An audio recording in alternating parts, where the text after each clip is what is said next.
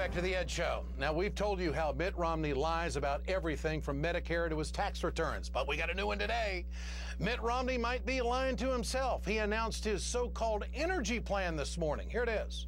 North America, North American energy independence by 2020. North American energy independence by 2020. It is achievable. This is not some pie in the sky kind of thing. Okay, so Romney's goal is to make the entire continent of North America completely energy independent in eight years. Now, to do that, we need to drill a lot. Romney decided to unveil his grand plan at a trucking supply company in Hobbs, New Mexico. Now, he had a chart there, but Romney admitted that it was too small to read. So let's help him out.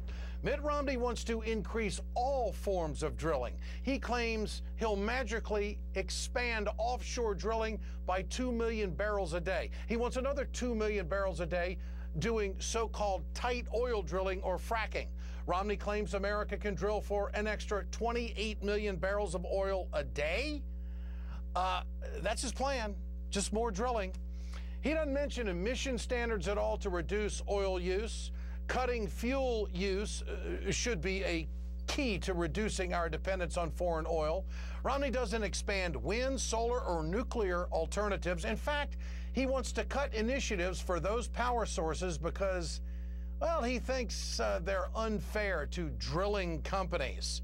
Whose pocket is he in? And one more key to the Romney energy plan he'd give states all the regulatory power and ease back on safety laws.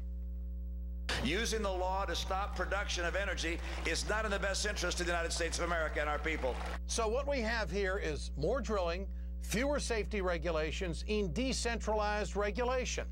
Now, what could possibly go wrong with that? Well, ask the people in the Gulf Coast who are still struggling to clean up the Deepwater Horizon disaster more than two years after the explosion. If Romney thinks more of this is good for America, playing Russian roulette with our environment, he's just lying to himself and voters.